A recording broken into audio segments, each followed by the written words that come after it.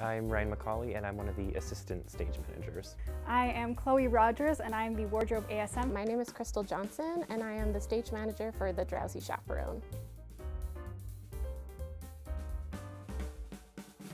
I kind of like to think of stage managers as like the glue in the production. The assistant stage manager is part of the stage management team and there's always two so that uh, one looks after things related to the props department and the other looks after things related to the wardrobe department. So basically we act as a liaison between the creative team and the production team. Uh, we make sure communications are all good and everyone's on the same page.